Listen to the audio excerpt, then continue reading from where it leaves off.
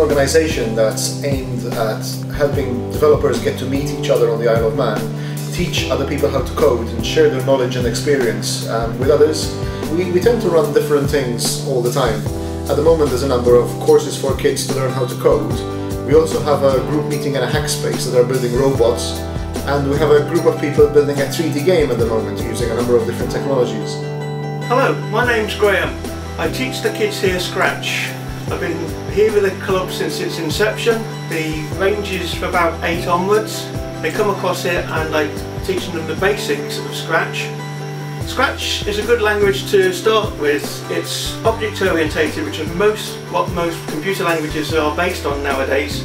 So the kids starting off on Scratch will then lead them on to other languages such as Python and Java. It's a good thorough ground in, in computing and basic computing technologies. Hi, my name's Gary. Um, I work here at Code Club um, and I teach Blender. Blender is a 3D program that's open source. Anyone can come along and Blender is a free program so they can either bring it themselves or I provide them with it. And they can produce 3D animation, they can produce games, uses Python as well, so you can learn to script in Python. You can produce some game levels in Blender, and you can produce a, a full game in Blender as well. The idea is to be able to impart enough skills and knowledge to people who come along to be able to, to get more of a, a practical, mechanical involvement in computing. Hi, uh, my name's Dan Wood and I'm one of the volunteers here at Code Club. My area of interest is hardware hacking um, and looking at how um, we can use software to interface with the real world in terms of hardware. So the robotics is, is hand in hand with learning more about how to structure of a program, how to attach the microcontroller to a physical detector or a, some sort of output device. The things I like to play with is um, an Arduino microcontroller um, which allows you to write software, um, small programs which run on a microcontroller that can then control uh, motors, switches um, and, and, lights, that kind of thing. Can find out about these things, ask questions, learn new things, new skills you may not have seen before um, and it's just a big space to come and, and get involved and, and learn new ideas.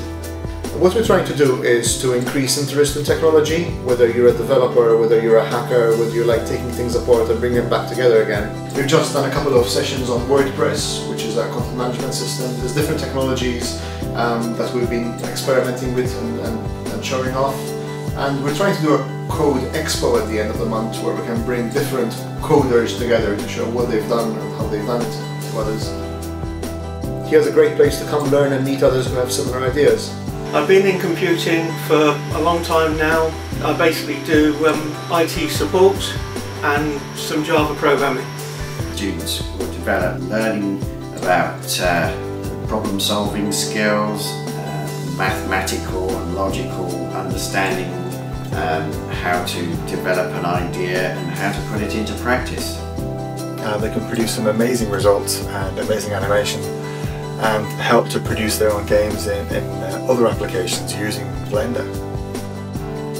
We think that Code Club is, is a great idea for the Isle of Man and a great idea for the people who live here. Um, I'm extremely grateful to people who have made all this possible, in particular MICTA, the Manx ICT Association, provide us with this building every Saturday and provide kits for us to use and things that we can use to train people with. Without their help, without their support, none of this would have happened. It would just have been an idea in somebody's head and you know, thanks to their help, we've managed to make this possible.